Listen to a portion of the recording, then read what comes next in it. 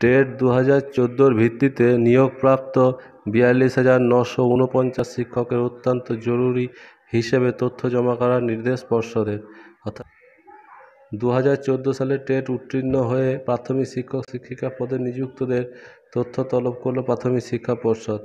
এই মর্মে বিজ্ঞপ্তি প্রকাশ করেছে পর্ষদ।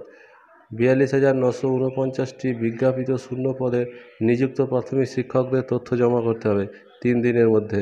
নিয়োগপ্রাপ্তদের বিস্তারিত তথ্য এক্সেল ফরম্যাটে সফট কপি মেল করে পাঠাতে হবে।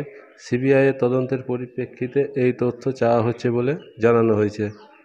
West Bengal board of primary এডুকেশনের তরফে ডেট হচ্ছে এগারো সাত দু সমস্ত চেয়ারম্যানদের উদ্দেশ্যে এই notice Ratna Chakraborty Bagchi secretary of West Bengal board of primary এডুকেশনের পক্ষ থেকে দেওয়া হয়েছে।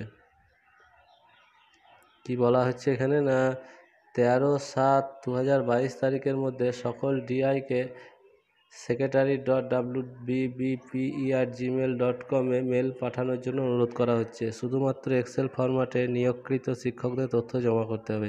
বিষয়টি অত্যন্ত জরুরি বলে জানা হয়েছে। আইও এবং সিবিআইয়ের কাছে তথ্য জমা দেওয়ার জন্যই তেরোই জুলাই দু হাজার বাইশের আর্জেন্ট হিসেবে তথ্য চাওয়া হয়েছে।